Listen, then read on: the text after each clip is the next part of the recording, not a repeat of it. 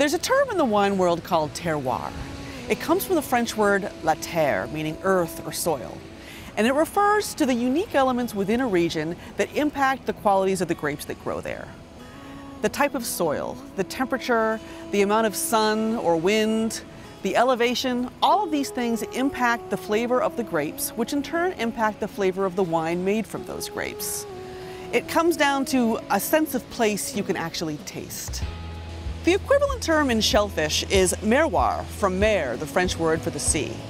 The temperature of the water, the currents, the runoff from the land, all these factors contribute to the type of plankton, trace minerals, and elements in the water, and they impact the flavor of the shellfish grown there.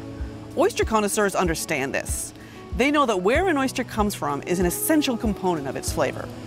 But merroir is not unique to oysters. Where a shellfish grows absolutely impacts how it tastes.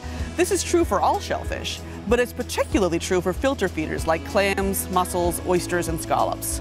A body of water imbues essential characteristics to the organisms that live and grow within it.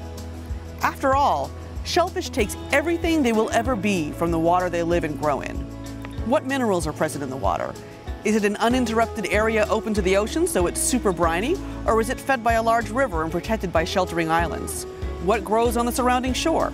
Is it a pine forest, a sandy beach, or a meadow?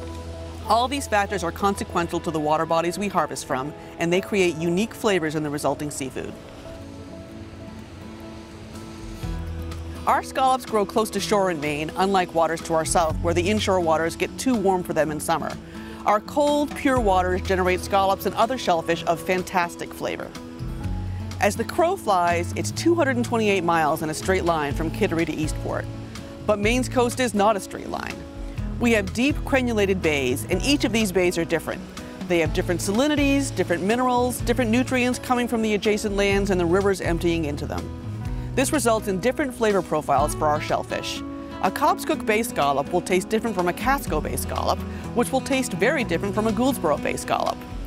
That's due to the differences between the water bodies, but it's also due to genetic differences between the scallops themselves, which have evolved within those water bodies.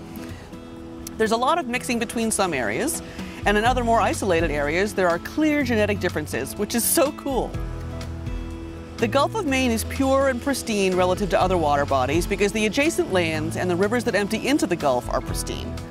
The rivers that run through Maine flow through some stunningly beautiful and often quite remote areas. 89% of Maine is forested. That's the highest amount of any state in the U.S. Our rivers aren't running through industrial parks. They're flowing through forests and over granite scoured by glaciers thousands of years ago. When they finally reach the sea, the water they're delivering is fresh, pure, and nutrient rich. We also have some of the highest tides in the world. That means the water column over our scallops and oysters, clams, and mussels is constantly changing. Our shellfish isn't sitting in a stagnant pool of water. It's growing beneath a dynamic system that brings in nutrients, salt, plankton, and other tasty stuff, then flushes everything out twice each day. Maine produces the absolute best tasting shellfish in the world. Back when I was a fisheries manager, a dealer once told me scallops from her area tasted better than any other area in Maine.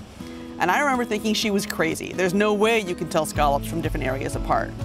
But I've been selling Maine seafood for 11 years now, and let me tell you, the differences can be striking. Some are quite subtle, and you need to taste the scallops raw to really pick up on the nuances. But some will just slap you in the face, and it's really fun to experience them. So just like in wine, where a Chardonnay grape grown in Chablis will yield a completely different beverage from a Chardonnay grape grown in Sonoma, shellfish picks up the qualities of the water it grows in. Understanding and appreciating these differences is what merroir is all about. And if you're going to taste a place, shouldn't it be Maine?